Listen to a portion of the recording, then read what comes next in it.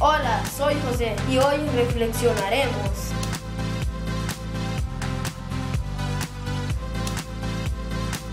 Procura esmerarte porque todo te saldrá muy bien. Síguenos en nuestra página de Facebook e Instagram. Suscríbete a este canal. Adiós.